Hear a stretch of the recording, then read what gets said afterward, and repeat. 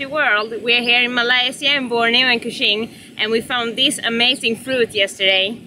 It's a chempedak and we're gonna try it and show you how it looks like inside. So check this out. Yay!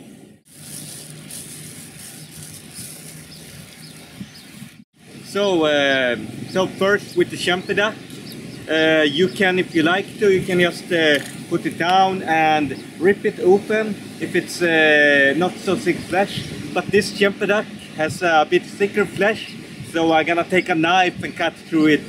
You're gonna see how it looks like inside. So first I just do a little cut through it like this. From the bottom to the top.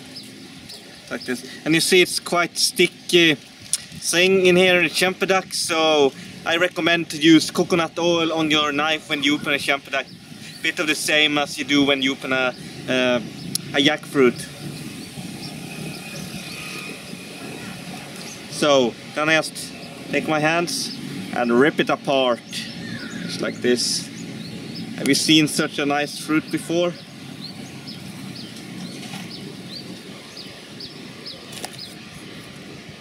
Look.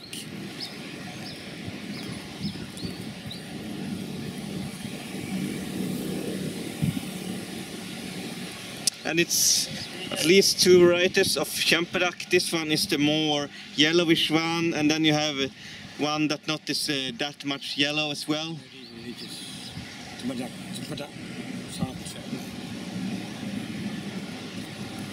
How much you got it?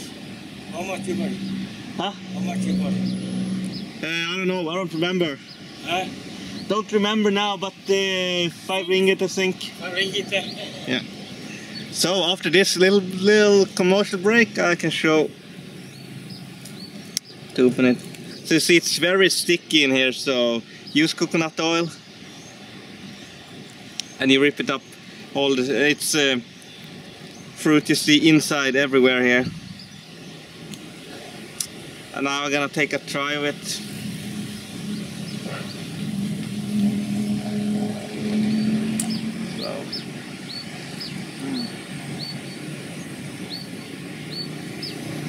Big inside. Mm.